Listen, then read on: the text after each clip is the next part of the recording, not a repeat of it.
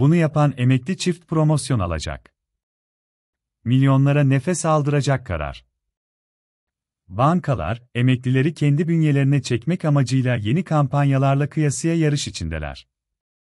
Son olarak bir kamu bankası emeklilere çift promosyon fırsatı sundu. Temmuz ayında emekli maaşlarına yapılan artışın ardından, bankalar promosyon ödemelerini güncelleme yoluna gitti. Şu anda promosyon tutarları ortalama 18 bin Türk Lirası civarında seyrederken, ek hizmetlerle bu miktar artırılabiliyor. Son dönemde dikkat çeken kampanyalardan biri Vakıfbank'tan geldi. Banka, 30 Eylül'e kadar emeklilere çift promosyon ödemesi sunacak. Mevcut 12.000 TL'lik promosyon ödemesinin üzerine ek olarak 12.000 TL'ye kadar nakit ödeme yapılacak.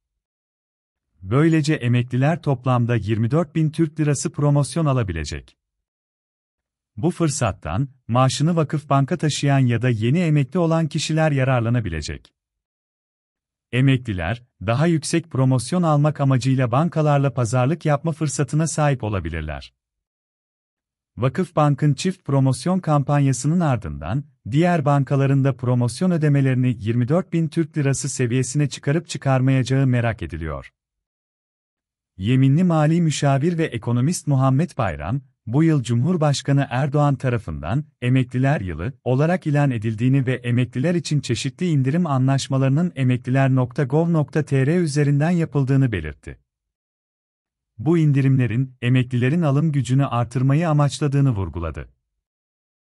Vakıfbank'ın sunduğu çift promosyon kampanyasında emekliler 20 bin Türk Lirası ve üzeri maaş alıyorsa, bankanın sunduğu fatura ödeme talimatı, kredi kartı veya BES gibi hizmetleri kullanarak 24 bin TL'ye kadar promosyon alabiliyorlar.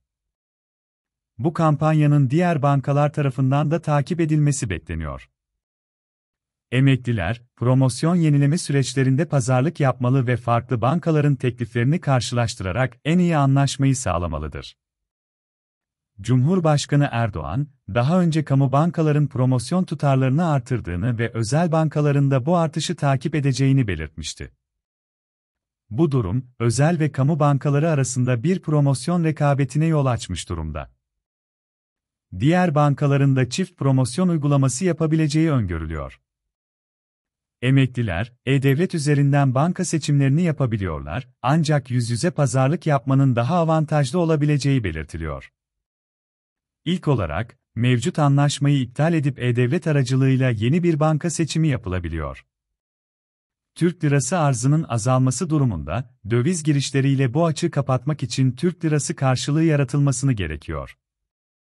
Merkez Bankası'nın depo alım ihaleleri ve zorunlu karşılık oranlarının artırılması, piyasadaki fazla parayı çekmeyi hedefliyor.